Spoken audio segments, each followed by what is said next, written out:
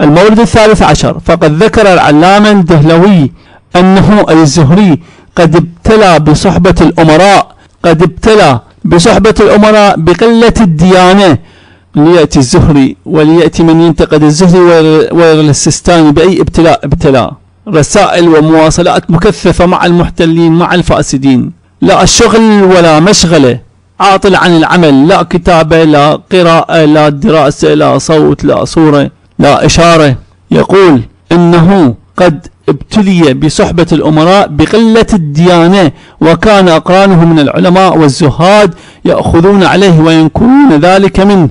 وكان يقول أنا شريك في خيرهم دون شرهم فيقولون ألا ترى ما هم فيه؟ وتسكت الدهلوي رجال المشكات ترجمة الزهري.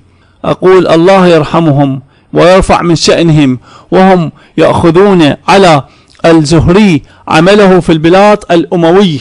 الله يرحمهم ويرفع من شأنهم وهم يأخذون على الزهري عمله في البلاط الأموي وسكوته على فسادهم وسكوته على فسادهم ومنكراتهم. فتعالوا يا علماء الأمة وشاهدوا السستاني الذي لم يكتفي بالسكوت على الجرائم والفضائح والمنكرات والفتن والفساد. بل صار مؤسسا وفاعلا وقائدا لتشريع الاستعمار والاستغلال واحتلال الشعوب والبلدان وسلب ونهب الثروات والممتلكات وتجيش الناس وإثارة الفتن والبلابل والقلاقل بينهم حتى التقاتل حتى التقاتل وسفك الدماء.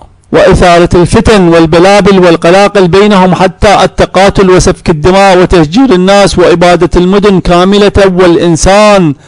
إضافة إلى تشريع المنكرات والإباحيات والمثلية والفلنتاين والمجون والطرب والغناء فله الخزي وله العار وله نفحات من نار وفي النار.